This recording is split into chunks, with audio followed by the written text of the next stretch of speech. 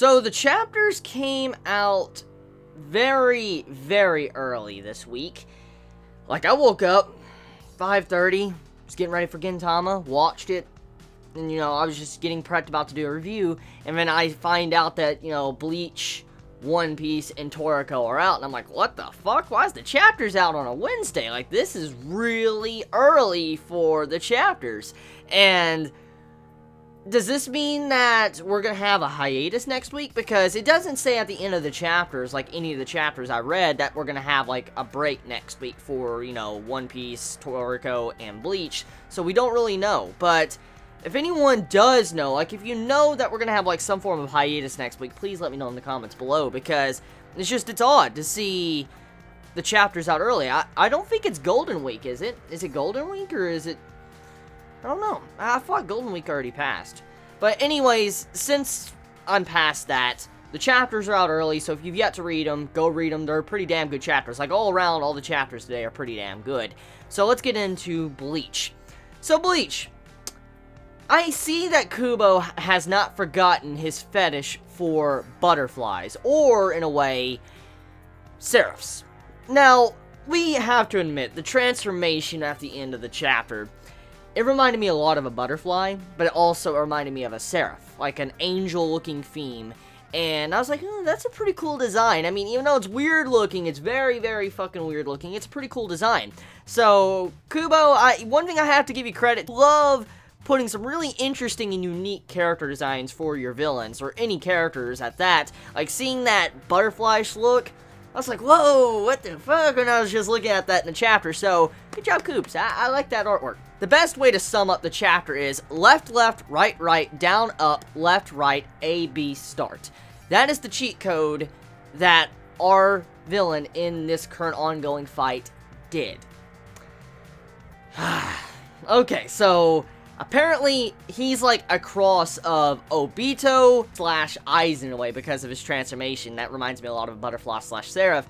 So, like, if Obito and Aizen had a child, and their powers kind of fused in a certain way. That's kind of what we would get right here. So Shunsui's going to have a little bit of an issue, because at the end of the chapter, he gets shot, and most likely implies that he just took heavy damage, unless he activates his Bankai. So the way Kubo is setting this up, clearly in these past couple chapters, he's setting it up for a Bankai reveal. And majority of the time, I would say, okay, judging by the way it's going, we might have about five to seven chapters until a Bankai is revealed. But this time around, it might be rather quick. Like, we might get that Bankai reveal quickly because Shunsui just took damage. He's in a spot right now. This dude has transformed, which goes to show you the level of Shunsui to force a guy to transform when Shunsui's not even using his maximum potential with a Bankai. It just goes to show you how strong Shunsui is. Like, he's not even at max power, but he forced this guy to go into his, like, ultimate mode. Yeah, it, it just goes to show you what level our Captain Commander is.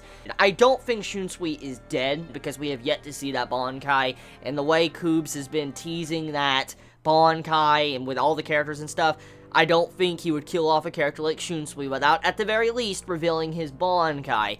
And I wonder what Shunsui's Bankai is going to be like to be able to counter someone like this right now that's going on. Like, you can't hit me, I'm pretty much a cheat code, yeah, like, all your abilities won't work on me, and it's like he overrides, you know, Shunsui's ability.